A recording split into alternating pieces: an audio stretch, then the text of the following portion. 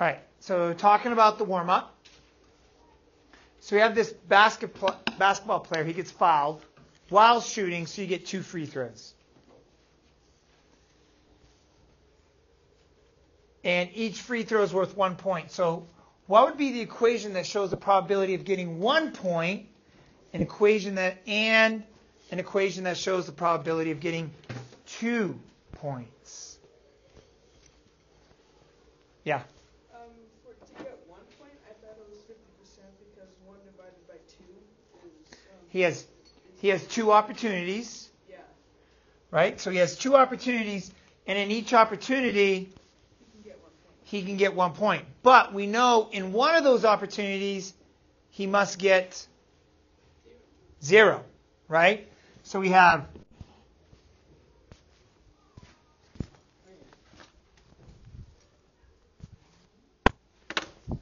So we have a zero probability in one of the chances because he misses. And then we add what's the probability in the other one? Um, for um, One. to get on both points, Mm-hmm. um, I thought it was um, 25%. Oh, not not both points, but yes. He has a half chance in the other one.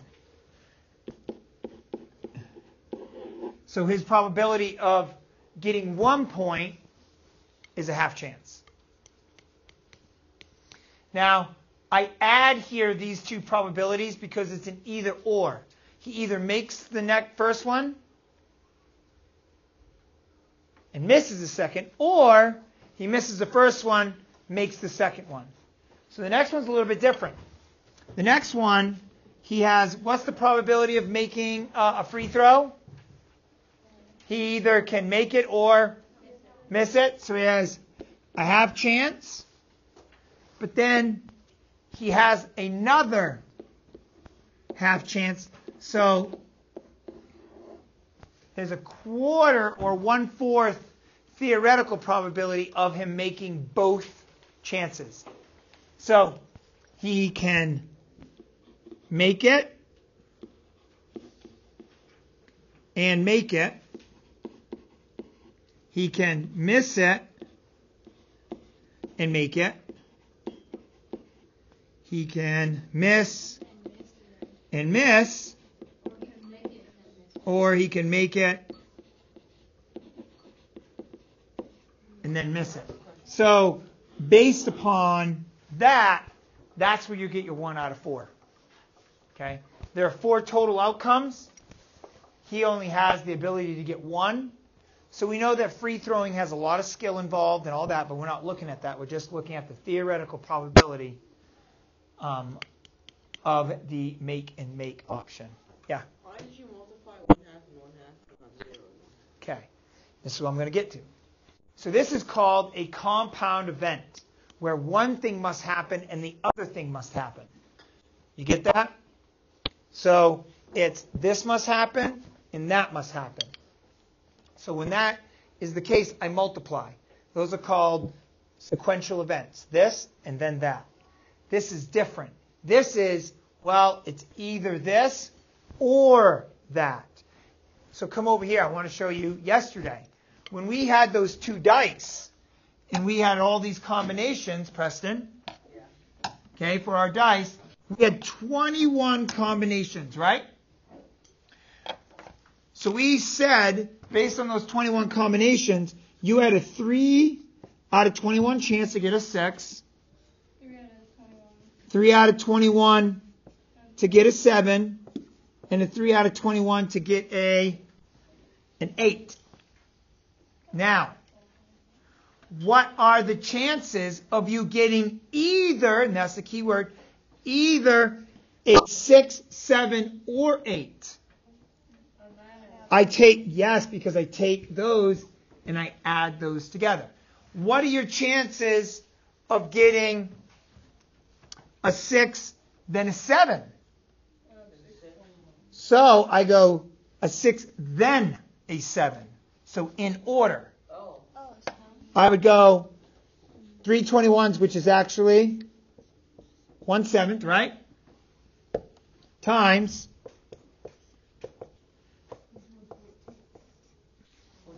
I have a 149th chance of getting this, then that. It's not an either or. Does that make sense? And either or means I could get a 6, a 7, or an 8. What's the chance of getting one of those? That's what the foul shot is saying.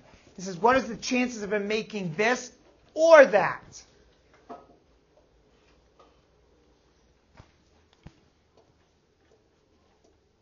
Yeah? Okay, so that's another way to write this would be he has a one fourth chance. He has a one fourth chance of making. Okay? And possibly make, and he has another one fourth chance, which is that. Whoops, and I add those, and that's a two fourths. So the, when you multiply probabilities is when it's sequential, when it's saying this event, then that event, then that event, and I have to multiply those events to find my total probability. If it asks, hey, what about these, what's the chances of these three events happening? Then I would take those events and I'd add them together and see what my probability of this, that, or that. Okay? And there's a distinction there, so you're going to have to um, make sure you know that distinction. Any questions about this piece here? What about the tossing two coins at the same time? We did that this morning. What would I write down here?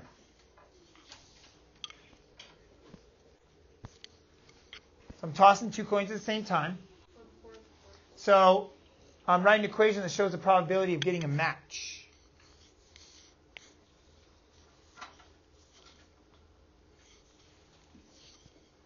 What are my outcomes? What outcomes could I get?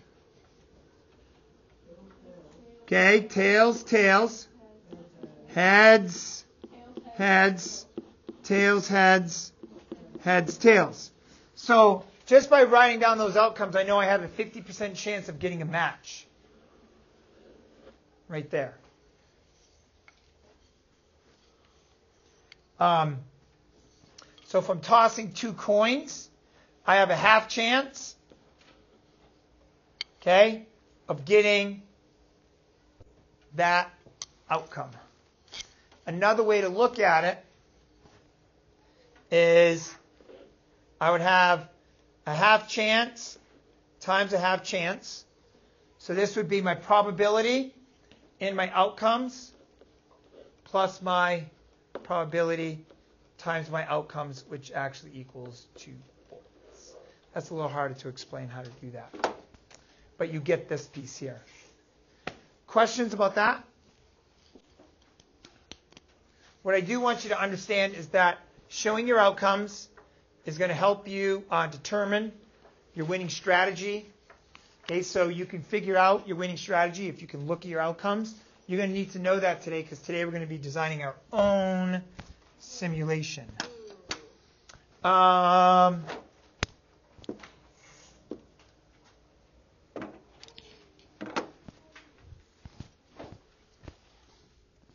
okay, go ahead, um, talk to your partner, and work through question seven. This was your homework. If you have your homework, just open it up. I'm not going to come around and look at it today, but you can go around um, and check. Talk about those three, uh, these four scenarios, and which one makes sense and why. Landon, work with Lexi. Totally. Let's do G. G for sure.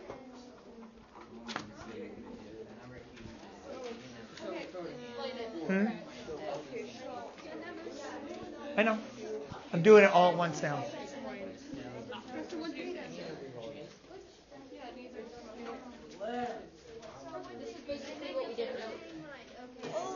A little bit. So what are you, what are your outcomes? Yeah.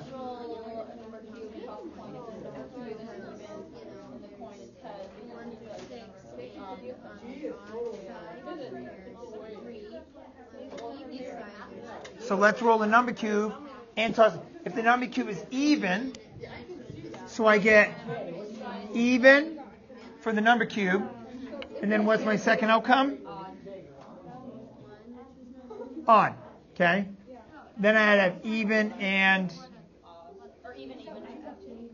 sorry, it's not a. I toss a coin. So this is even with the cube, and then I toss a coin, and it could be heads. Even, toss a coin, it could be tails. Odd, and I toss a coin, it could be heads. Odd, I toss a coin, it could be tails. So, F, I'm listing F here. I have four outcomes. Even, roll the dice, I get a two, four, six, boom, golden. Flip the coin, I get a heads. When that happens, what do we get? Pizza. So, what are my chances of getting pizza? One fourth. So I have a one fourth chance of getting pizza. I got four outcomes. One of those works.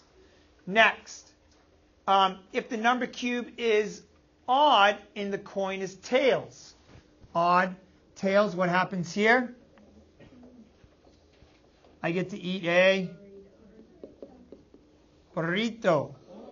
What's my choice? What's my What's my probability of eating a burrito? One fourth. Because again, I have four outcomes. One of those, I eat a burrito. So what happens to these? I do it again. Is this a fair game? yes. Why is it fair? Steve, why is this fair? Because it's random. It is random.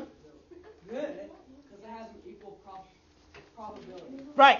The, my, my two desired outcomes, my two desired outcomes both have equal probability of one fourth. Whoa, that was crazy. Whoa, hold up. Oh. Did I miss it? Totally Okay? So I have a one fourth probability here to get pizza and a one fourth probability here of getting a burrito. And if I roll these other two, I get to roll again. So it's either I'm getting a burrito or a pizza. But G makes sense if you just don't want to eat burritos at all. G doesn't make sense. But it doesn't have. But ready? Is the question isn't doesn't make sense. The question says, is it fair? Which so there. That's what you need to focus on, not what you want to focus on, but actually what the question asks you to focus on. says each of these is fair, and neither of these is fair. So, like one's fair. and- No, you pick F. Um, so it's just F. Okay, F is the only fair game. Next, I would like you to work with very similar. Work with your tape. Work with your table partner on this one.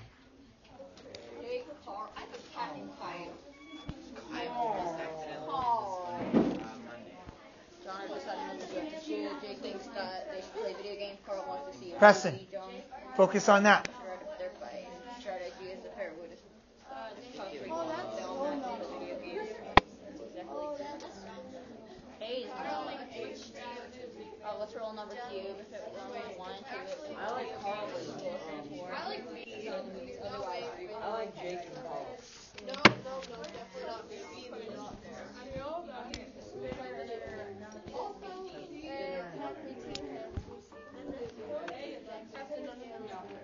Look at the spinner. Um, look. Hey, hey, look. This part's video games. This part's movies, and this part's bikes. What did you do? Wrong way. When I finished the actual assignment, I pondered this. So, I got these three kids are deciding what to do after school. Jake wants to play video games. Carl wants to see a movie. John wants to ride their bikes. So they got to pick a fair way. So which is fair? D. Neither. Okay. Um, none of these are fair. No. No, B is fair. So you don't think any of them are. I don't think so. Why is A not fair then? Because, like, you have to get all three to match, and then only two for the other one. B does not make sense. It doesn't that. But tell me, why is this not fair?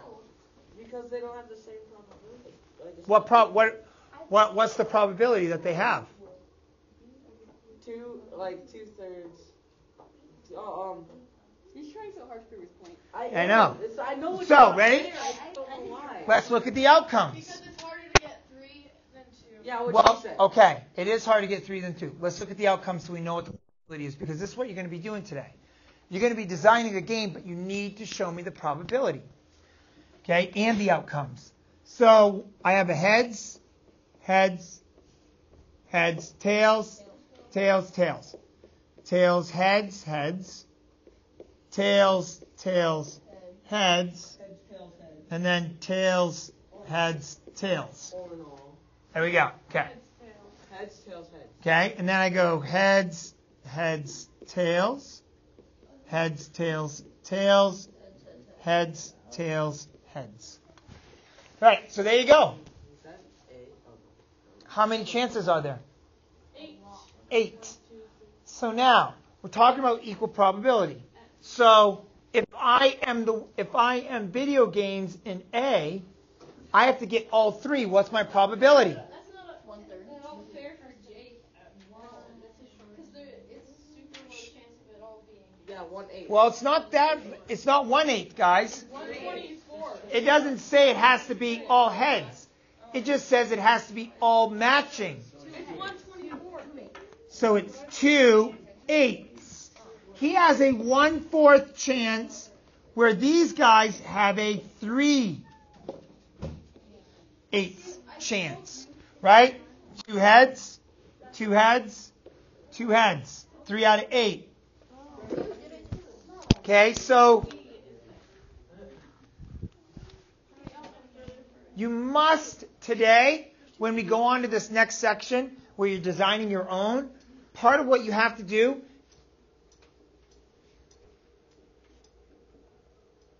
welcome back part of what you have to do okay is you have to you just you get, you're like you didn't even know what was going on in the room that's why i said welcome back Uh, okay. because i stopped talking and you kept staring off in space for like eight seconds before you realized that anything was happening okay so um, it's okay it's okay just try to focus more. Is all I'm asking you to do. Okay? So w- today, when you're doing your simulation, you're creating your own, you need to list the outcomes. You can't have like a million outcomes because you can't list them all. So you need to create a game that has a limited number of outcomes where I can show the probability of what the outcomes are. I know what my desired outcomes are. Here, if I was a video game kid, I'd want the desired outcome of that but we need to make sure that it's fair. You'll see. We're going to get to it today. Um, yeah, and all the others, that is not fair. B is fair. And a spinner would be fair if what? They were all in pieces. If they were all one third, right? One third, one third. But that spinner is definitely not fair. That's not equal probability. Um, what I would like you to do, okay, go ahead, 3.4. You grabbed it at the door. It's on the back side of 3.3.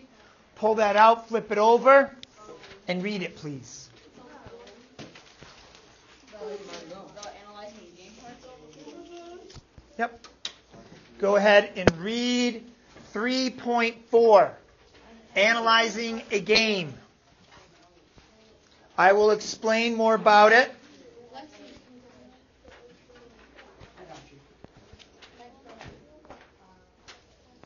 Have you ever figured out a strategy for winning a game? Yeah. Cheating. Oh. A uh. Turn it over. 3 4.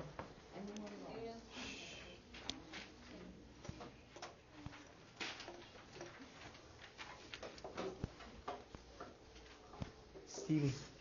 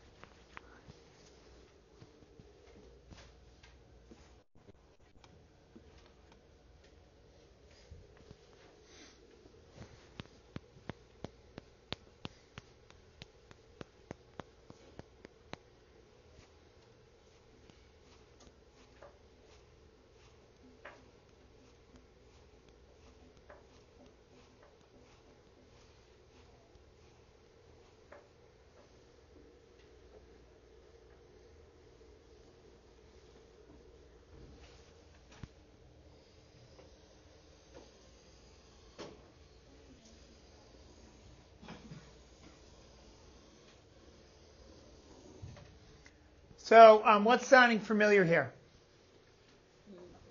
Tristan? Data. So we know that those, those two work together. And we know that those two work together in what we call um, the law of large numbers. The more we do it, the more that these two come together, right? They come closer together. They become, the experimental data will become more like the theoretical data. Um, what about down here? And you guys will need to add this dash because it didn't add it. So I have the probability of, um, of an event. So here my event is tossing two coins. I have a one fourth right here. I have a one fourth chance of getting tails tails, and I have a one fourth chance of getting heads heads. So because of those events are not this and that, but they're what are the chances of either one happening, I add them together, and that one fourth plus one fourth equals one half because one fourth plus one fourth is two fourths. Two fourths equals one half. So you guys see that, Scott? I know you just said it, but I'm still confused of like how to tell when you add them and when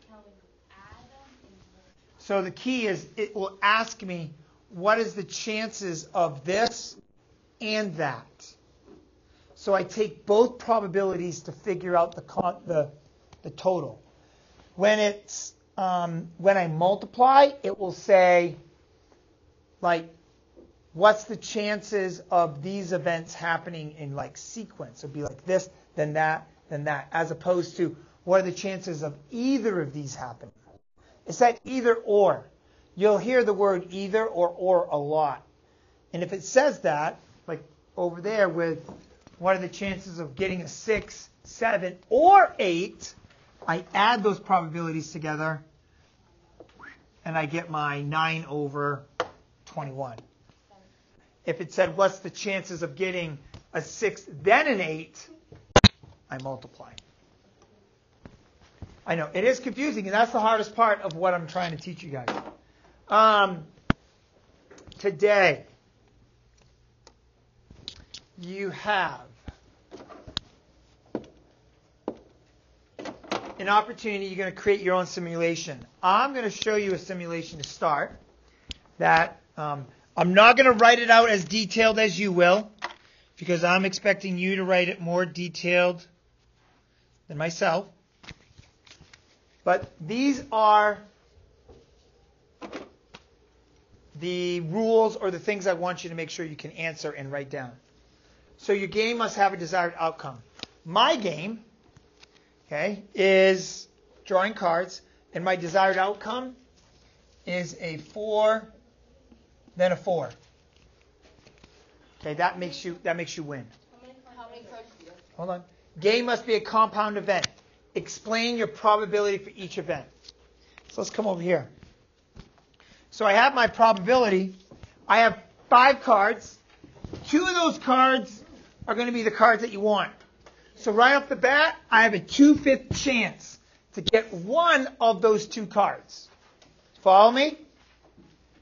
Then my second, which is you get to take again, one card is gone, so I go from five cards to four cards, but I still have one, the one card you want. So your total probability is 2 over 20, which is 1 out of 10. You have a 1 out of 10 chance of winning my game. I explained the first event, I explained the second event, and explained the total probability of happening. Now to go back, I'm not saying what are my chances of getting this or that. It's this, then that. So these are in order, and when they're in order, you multiply. Okay?